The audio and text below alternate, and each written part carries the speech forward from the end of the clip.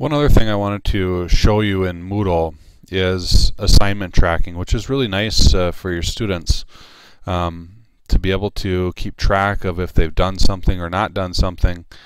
Um, what it does is it gives you this little checkbox right here, and so when, when the assignment is completed, it puts a little checkbox in there, or when they've um, done their discussion or when they've whatever uh, you're having them do, this will fill in with a checkbox. And so in order to, if you would like to do this, you can continue watching. If this is something that you don't want, you can stop watching. But um, you, you have to turn this on within your course. And so I'm in a practice course here. And so if we scroll down to the bottom under administration and we have edit settings. And so we're going to click on edit settings. And what we're going to do is we're going to go through here all the way down uh, towards the bottom here, and there's a there's a tab that says completion tracking. I'm just going to turn that down, and then make sure it says yes. And then we'll hit save changes. So now you have it enabled in your course. All right, and so when you are creating an assignment or um, an activity, so we're going to go to an assignment here. Um,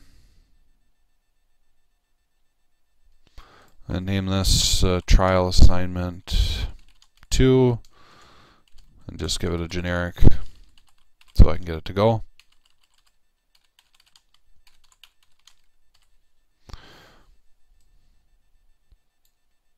Um, I'm just going to turn that off for now.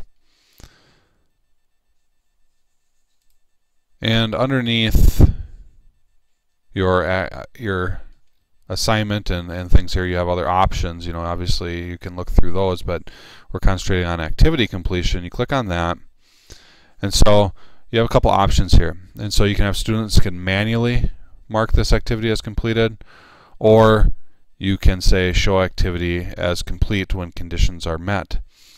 And so this one will be what do they need to do? So students must view this activity to complete it, or they must submit something in order to complete it. Whatever you want, um, you can do. And so I'm just going to say view and hit save to return to course. Now back on my course, what I have is trial assignment 2. So when it gets clicked on, and then they end up going back, it won't do it for me, or it will do it for me. It'll put a little check mark there that I, that's been viewed at least, because that's what I said I wanted it to do. You can also have it set up so students can click it themselves. And so underneath activity completion,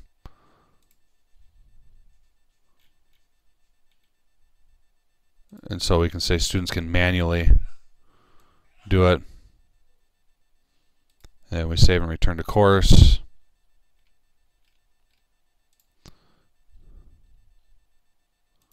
So now as a student I can click on it and, and, click it, but I like the ability for having conditions met in order to meet that checkbox. So kind of a neat little uh, add-on there that you can do.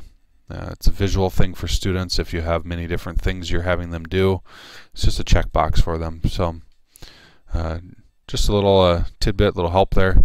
Uh, if you're looking at doing that and you can't figure out, please let me know and I'll walk you through it.